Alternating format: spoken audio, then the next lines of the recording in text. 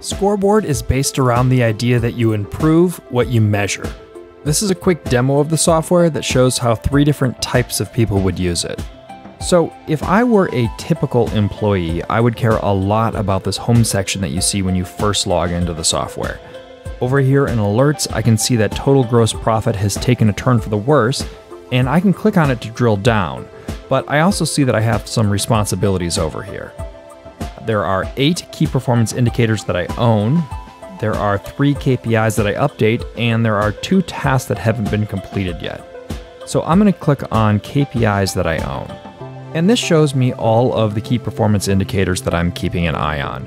There are filters on the top, right? So I can click on the red just to filter down to the red KPIs. And below that are KPIs I update. Now, oftentimes you'll have Scoreboard completely wired up and pulling data from your databases, but there are sometimes KPIs that you update by hand, and these are the three that I'm responsible for. So every month I'll log into the software and I'll type in values for product revenue and training revenue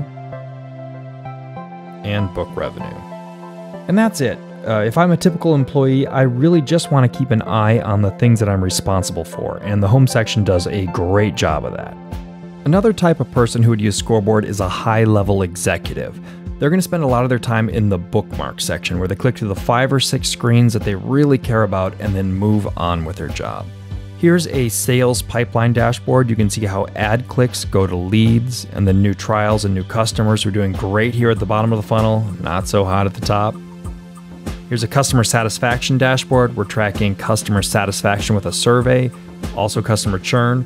We're trending in the wrong direction on both of those. Here's a product delivery and effectiveness dashboard. Are people actually using our product? We can see infrequent use customers is going down, but we're still in the green. And here, frequent use customers is going up, and we're in the yellow. And finally, user and influencer engagement dashboard. Are people talking about us? Uh, these days, a lot of that is on Facebook and Twitter and Google, right? These are social media, but we're also tracking old fashioned article mentions. If you want to click forwards and backwards. You can go back through time, see how things were performing before. And that's a lot of what these high level executives are going to be doing. They're going to have dashboards with leading indicators like this.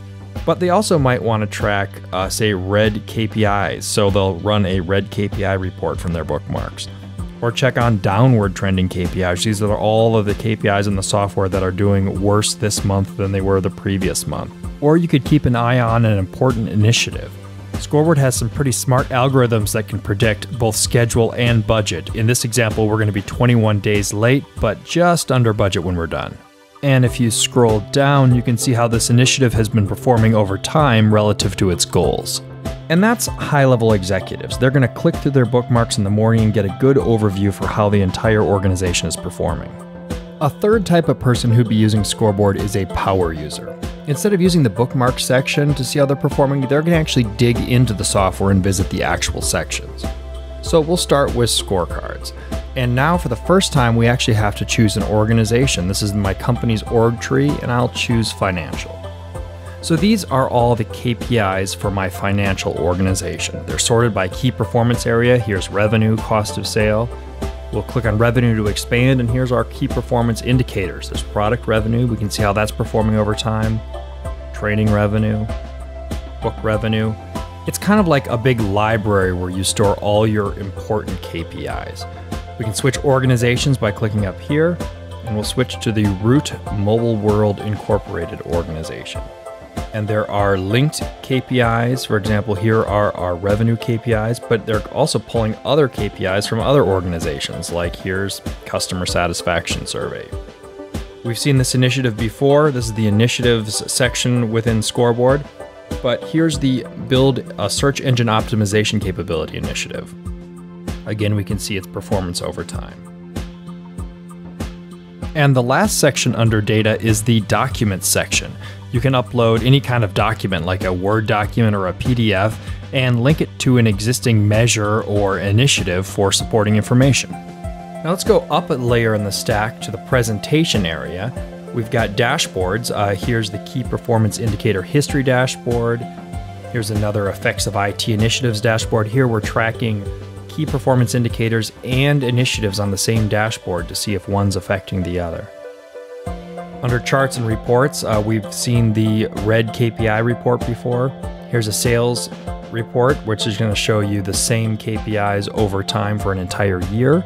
And finally is briefings. It's a lot like PowerPoint, except for that the data behind the images that you're seeing is live. So let's start the presentation. And you click through one slide at a time and you can actually see how you're performing. So here's a sales pipeline. Here's the effects of IT initiatives sales breakdown, our sales report, and we've seen this before, but if you ever want to drill down and see more information, all you have to do is click on something and it'll pause your briefing and you can actually interact with the data live. So you can see how this is performing, you can click around, do whatever you want, and whenever you want to resume your presentation, just click the link in the top and you're right back where you left off. So that's Scoreboard. It helps you track your KPIs so you can improve your performance as an organization.